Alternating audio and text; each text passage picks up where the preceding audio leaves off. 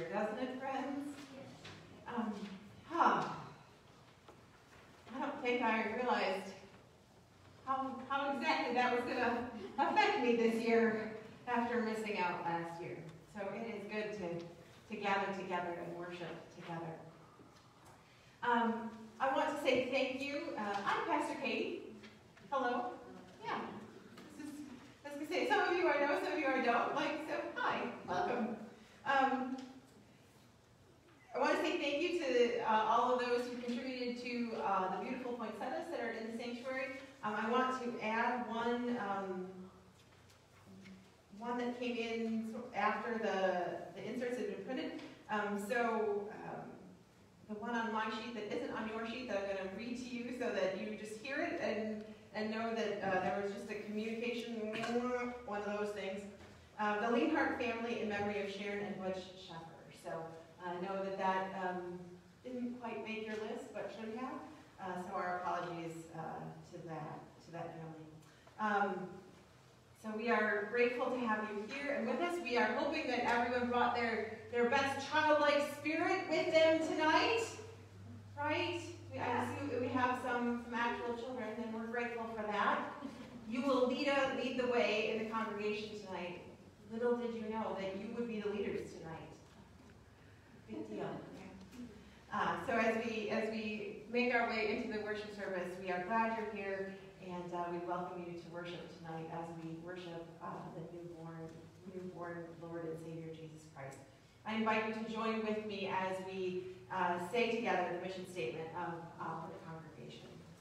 The mission state, the mission of the United Methodist Church of Antioch is to grow in faith, to worship God, following the teachings of Jesus Christ, and to be instruments of God's love through the Holy Spirit as we reach out to our community and the world.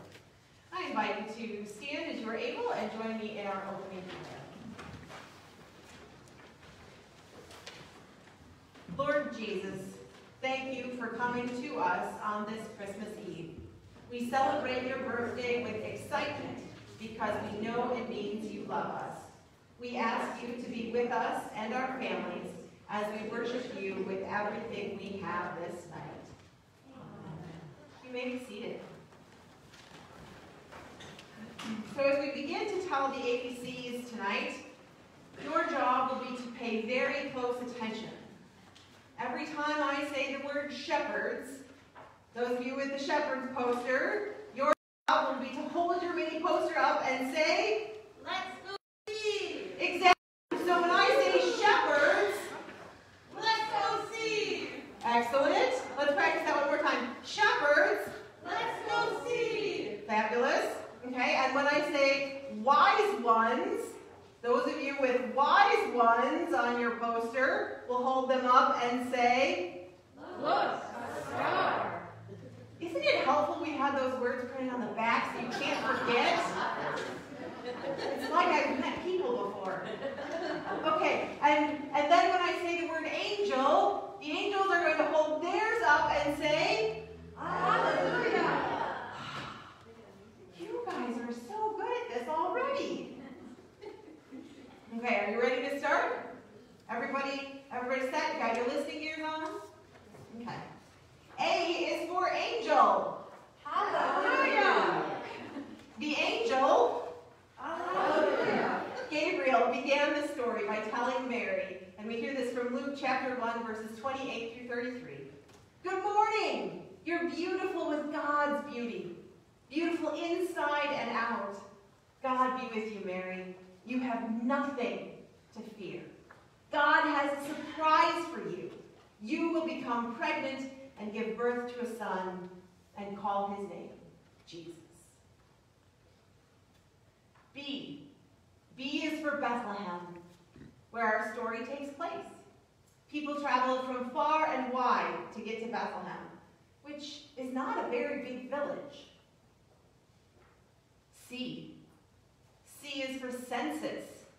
Kind of a strange word if you think about it, but it means an official counting of all the people. The reason that so many people came to Bethlehem. D. D is for donkey. A donkey carried the family on their long journey. Mary and Joseph had to travel 107 miles along the Jordan River to get from Nazareth, Nazareth to Bethlehem. It's a long journey on a donkey. E. E is for exhausted. That's how everyone must have felt when they arrived. It would take about 36 hours of walking to go that far. That's three days in a row of doing nothing but walking. And so if you wanted to sleep at night, that was going to take longer. It's a lot of walking. A lot of walking. I invite you now to join me as we sing together, O Little Town of Bethlehem.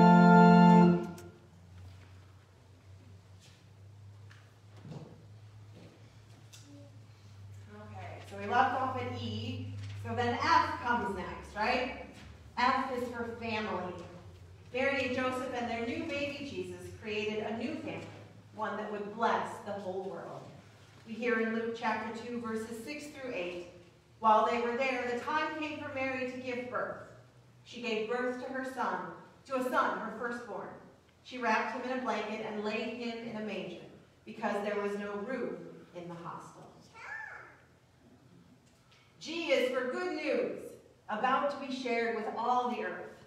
This is what the angels, hallelujah, said.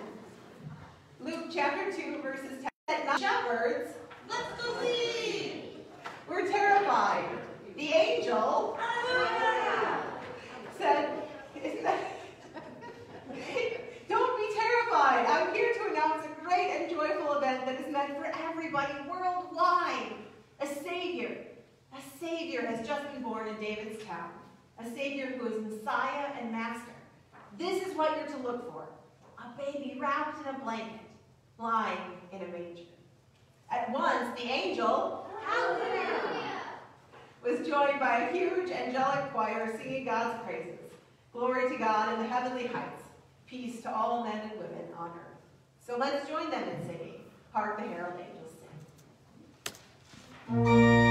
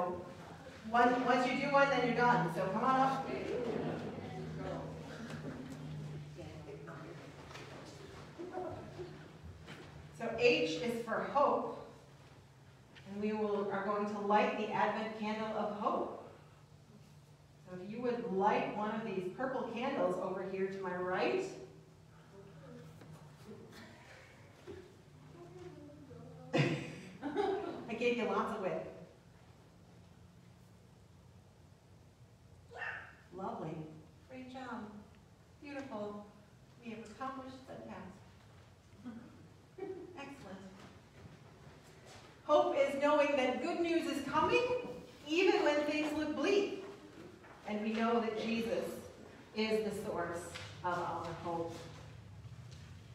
I is for imagine. If we close our eyes and imagine the scene, we can see the beauty and the wonder of the angels. Hallelujah! Proclaiming good news to all men and women. We can see the shepherds Let's go see. First terrified, and then overcome with joy as they hear the good news. If we try even harder, we can imagine a world where God's peace reigns, where there is no war or hunger. And if we can imagine it, we can do it with God's help. Okay, I need another helper.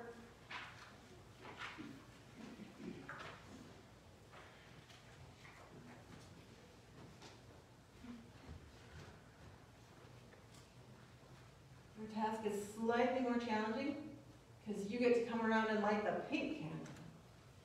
J is for joy. Now we light the Advent candle of joy. Joy is a kind of happiness that comes from God.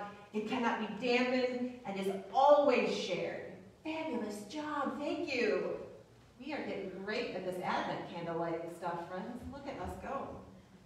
The birth of Jesus gives us joy, and that pink candle always, always represents joy. So now, it seems only appropriate that we sing Joy to the World.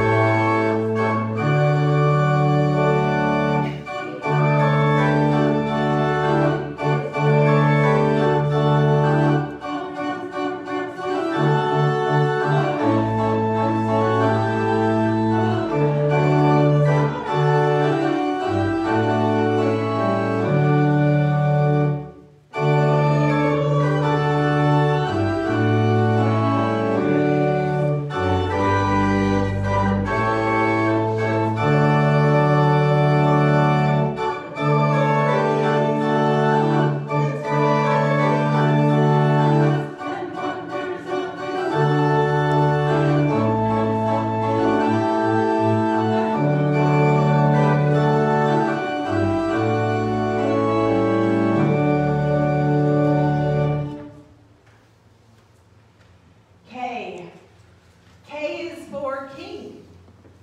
Though Jesus would be king, he was not the kind of king that people were used to. Most kings are born in palaces, surrounded by servants. But Jesus, Jesus was born in a stable, surrounded by dirty, smelly shepherds. Let's go see. I was going to sneak you. Most kings rule with power and fear, but Jesus, Jesus rules with mercy and love. L, L is for lost. When Jesus grew up, he told a lot of stories, and three of them were about lost things that he found. He loved to find lost things, and when you're with Jesus, you will never be lost. He is the good shepherd. Let's go see. Oh, come on, friends. He is the good shepherd. Let's go see. There you go. That was much better. Who would do anything to find his lost sheep. Okay, I need another helper. I need another, I need another volunteer. Okay? L is also for love. And so now we light the Advent candle of love. Either of the other two purple ones.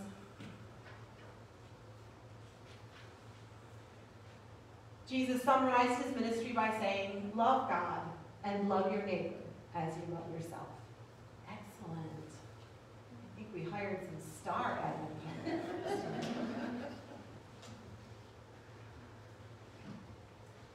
M is for manger. A manger is usually used to hold food for animals. But this time, this time it held a baby because he had no crib. So now, let's sing Away in the Manger.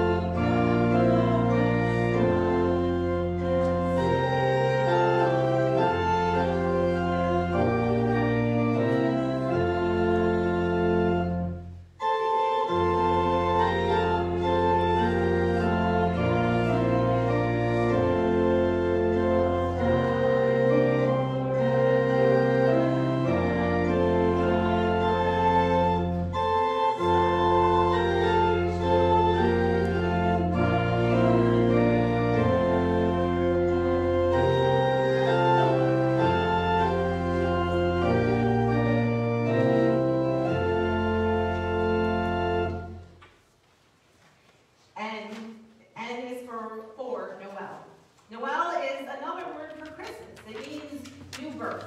And that's what happened in our story. That's what happens every year at Christmas time. That's what happens every time we decide to follow Jesus. He is born anew in each of us. O is for offering. The wise ones.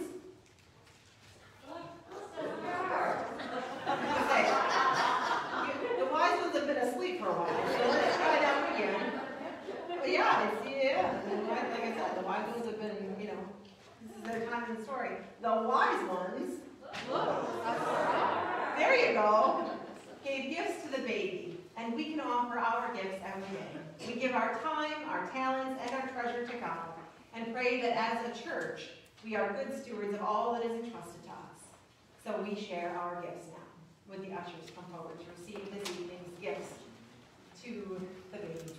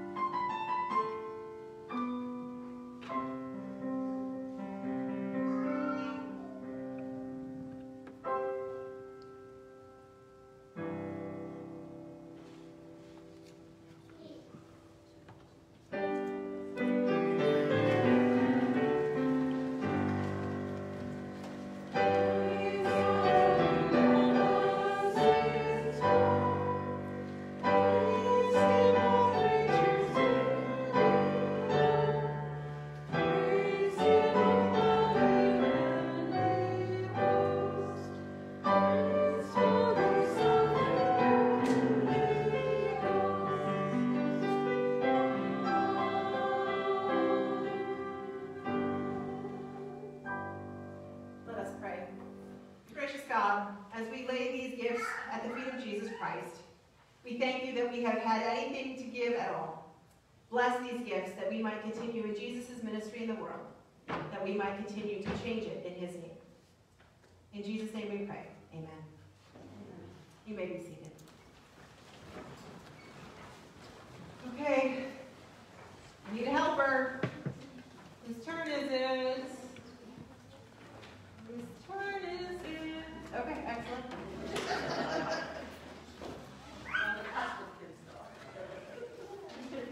As long as we have a childlike heart, I'm good. Okay, P is for peace. So the, the last purple one. So now we light the Advent candle of peace. Jesus is the Prince of Peace and is the source of the kind of peace that surpasses all understanding.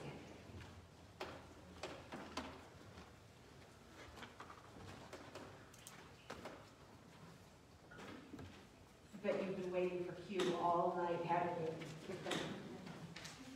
Q is for quiet. We begin a time of prayer in quiet, allowing God to speak to us. But we always remain joyful when that quiet is broken by small voices among us. And we also all know that Jesus was not quiet himself as a baby, right? Because no baby is. R is for revealed. Revealed means showing us something that was once hidden. God revealed to us what love looks like by giving us Jesus. Jesus is love and reveals to us the way to love one another. S is for star. One special star guided wise ones Star. to come see the baby. They were mysterious and they lived far away, but they brought gifts to Jesus because they knew that he would grow up to be a king. Matthew chapter 2, verses 9 through 11 tell us, Instructed by the king, they set off. Then the star appeared again, the same star they had seen in the eastern skies. It led them on until it hovered over the place of the child. They could hardly contain themselves. They were in the right place. They had arrived at the right time. They entered the house and saw the child in the arms of Mary, his mother. Overcome, they kneeled and worshipped him. Then they opened their luggage and presented gifts gold, frankincense, and myrrh. T. T is for thankful. Whenever someone gives us a gift, good manners teach us that we should say thank you. Tonight we received the most amazing gift from God. Absolutely. Jesus Christ. God sent Jesus so that we would know that God loves us, and we are thankful for that gift. U is for unity. Part of what Jesus came to accomplish was to bring us all together as the church. We act on the unity that we have in Jesus Christ when we share what we have, when we help other people, and when we work to make the world a better place. V is for vulnerable. Vulnerable means able to be hurt. Every baby is very vulnerable, and so are we when we love one another. God became vulnerable when Jesus was born, and we are called to be vulnerable when we love our brothers and sisters. W is for wonder. Like the wise ones, we stand in awe and wonder of the newborn king. Okay, this is my last, this is my last helper. I need one more. Gonna do this with grandma? Perfect. How about I light it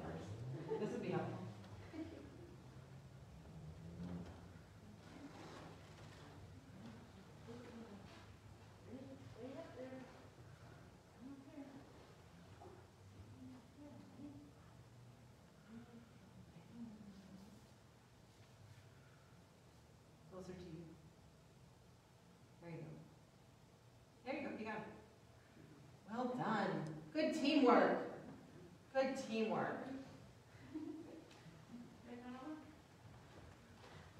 X. X is for Christ. Any confused faces? X is for Christ.